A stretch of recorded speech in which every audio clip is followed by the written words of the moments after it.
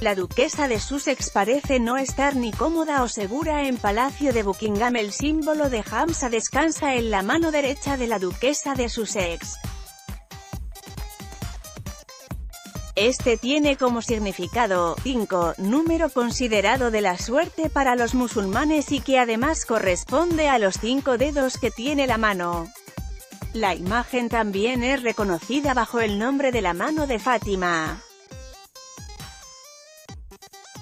Existe la creencia de que el Hamsa o la mano de Fátima es un amuleto de protección, y que sobre todo combate el famoso mal de ojo.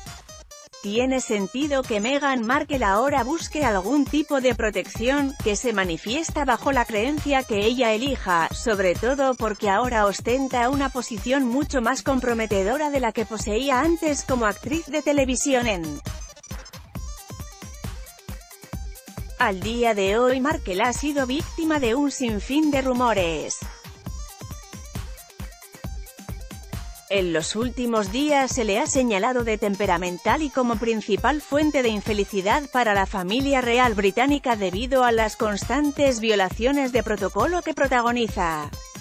Además se dice que ha hecho llorar a la duquesa de Cambridge, Kate Middleton, con quien al parecer no ha logrado tener una cordial relación. Además, Meghan ha sido mencionada como la principal culpable de las renuncias y despidos injustificados en el Palacio de Buckingham. Hay quienes incluso alegan que la duquesa de Sussex es difícil de tratar y complacer.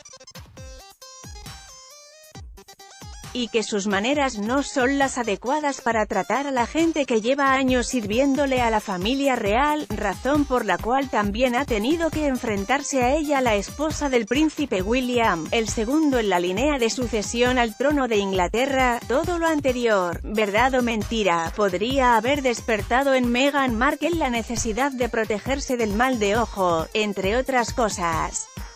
La duquesa fue captada portando el anillo de Hamsa durante su paso por Brinsworth House, la residencia de ancianos real en Twickenham. Sobre su atuendo se puede decir que el vestido floral que lució en su visita es de Brock Collection, el abrigo gris que la acompaña es de Soya.